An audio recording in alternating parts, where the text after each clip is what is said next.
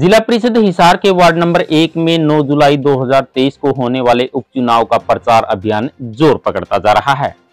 सभी प्रत्याशी मतदाताओं से मिलकर अपने लिए वोट की अपील कर रहे हैं। वह प्रत्याशी अपनी अपनी रणनीति के तहत प्रचार अभियान में जुटे हुए हैं। इसी क्रम में आज अनिल बिठमड़ा ने गाँव साहू में डोर टू डोर अभियान चलाया। उन्होंने पूरे गाँव में घर घर जाकर अपने लिए वोट की अपील की और प्रत्येक मतदाता को अच्छे से अपने चुनाव चिन्ह उगते सूरज से परिचित करवाया और साथ ही उगते सूरज के सामने वाला बटन दबाने का अनुरोध किया। अनिल बिठमड़ा को गाँव साहू में अच्छा जन समर्थन मिला। गाँव में धानक समाज द्वारा उनका फूल मालाओं से स्वागत किया गया और पगड़ी पहनाकर उनका मान सम्मान किया गया।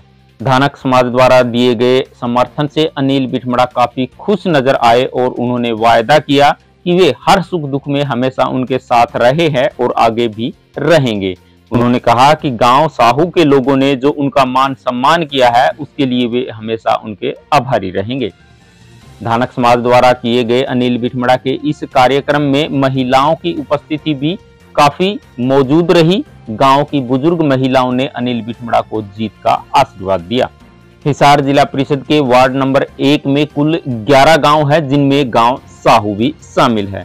इस बार गाँव साहू से कोई भी प्रत्याशी चुनावी मैदान में नहीं है, गाँव साहू एससी बाहुल्य गाँव है। इस गाँव में लगभग 670 मतदाता चमार बिरादरी से है तो वहीं लगभग 630 मतदाता धानक बिरादरी से है। जैसा कि ज्ञात है, इस ऐसी बाहुल्य गाँव पर सभी प्रत्याशियों की निगाहें लगी है। अपने प्रचार अभियान के दौरान गाँव साहू में मिले जन समर्थन के बाद अनिल बिटमड़ा के हौसले बुलंद हो गए हैं।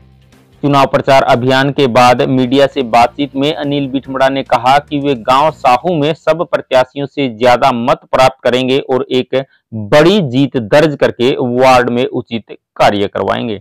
दर्शकों वार्ड नंबर एक की यह रिपोर्ट आपको कैसी लगी? कमेंट के माध्यम से अपनी राय ज़रूर देना। और हाँ अगर आप चैनल पर नए हैं तो चैनल को सब्सक्राइब करके घंटी का बटन दबा लीजिए, ताकि आने वाली कोई भी अपडेट आप तक सबसे पहले पहुँच जाए।